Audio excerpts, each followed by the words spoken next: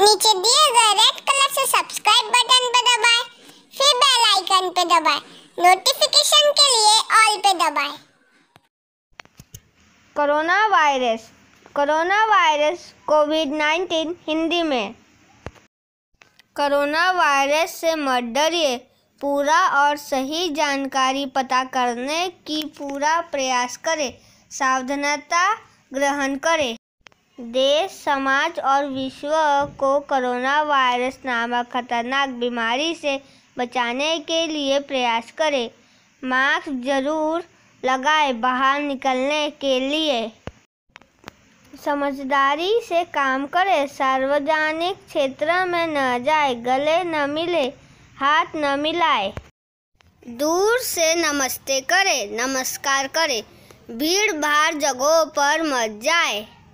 दोनों हाथों को साबुन, पानी और सैनिटाइजर से अच्छी तरह से साफ़ करें। हाथ 30 सेकेंड तक रगड़ रगड़ कर धोएँ। हाथ बार बार साफ़ करें। बुखार, सर्दी, कफ और खांसी हो तो जल्दी डॉक्टर के पास जाइए।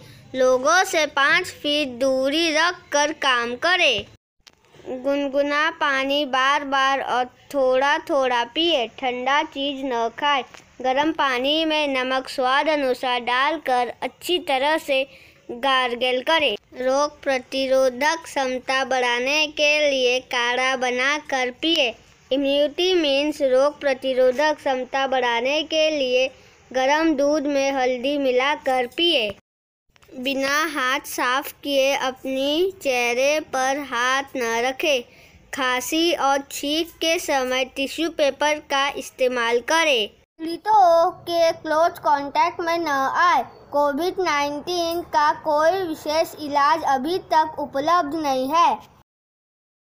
इसलिए चाहिए सावधानता, सुरक्षा और निवारणता अवलंबन करा।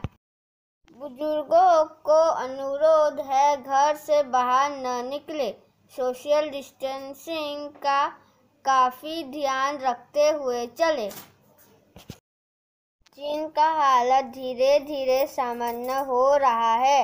इटली के लिए विषय सावधानता ज़रूरी है। कोविड 19 कोरोना वायरस डिज़ीज़ 2019 को कोरोना भी वायरस द डिज़ीज़ 19 2019 कोविड 19 का दूसरा नाम नोबेल कोरोना वायरस, चीन के वुहान सिटी से कोरोना वायरस का शुरुआत हुआ है।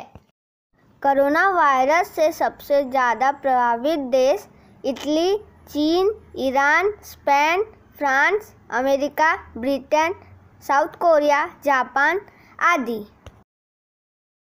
भारत में अभी तक 200 से ज़्यादा लोग कोरोना वायरस नामक महामारी से संक्रमित हुए हैं और चार आदमी का मौत हुआ है।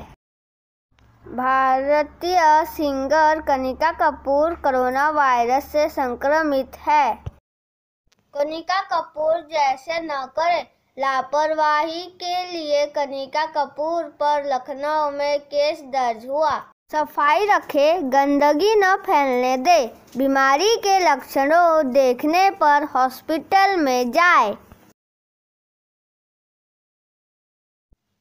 This is some images of corona virus thank you for watching this video till end subscribe the channel like and share the video our channel C T and child tech and education